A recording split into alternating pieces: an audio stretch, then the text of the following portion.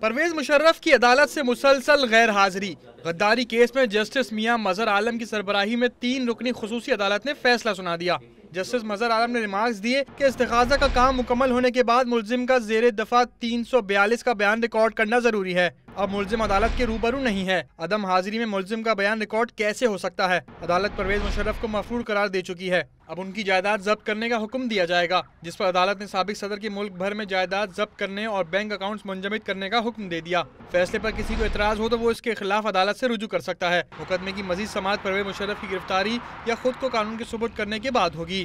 اس موقع پر وزارت داخلہ نے سابق صدر کی جائیداد سے متعلق رپورٹ پیش کی۔ جائیداد کی تفصیل ایف بی آر اور الیکشن کمیشن سے حاصل کردہ معلومات پر مبنی ہے۔ تفصیلات میں ایک سو ستر تولے سونا بینک اکاؤنٹس کی تفصیل موجود ہیں۔ عدالتی سماعت کے بعد پرویز مشرف کے وکیل احمد رضا قصوری نے میڈیا کو بتایا کہ جائیداد میں اہل خانہ بھی حصے دار ہیں۔ حصے دار، مثال تو اب ان کی بیٹی جو ہے، آئلہ، وہ اس کے نام، وہ بھی کو اونر ہے ایک جائیداد میں۔ اسی طرح ان کی بیگم صاحبہ صاحبہ مشرف، وہ بھی حصے دار ہیں۔ اور باقی ان کے والدہ کی طرف سے اور دیگر جو ہے اشخاص جو کہ ان کی پراپرٹی میں حصے دار ہیں، ان کو جو ہے ان کی اوبجیکشن اگلے چند دنوں میں فائل کر دی جائیں گی۔ سابق صدر کے ایک اور وکیل فیصل چودھری کا کہنا تھا کہ وزارت داخلہ نے جائیداد کے معاملے پر عدالت کو گمراہ کیا۔ حکم پر اعتراض جمع کرائیں گے۔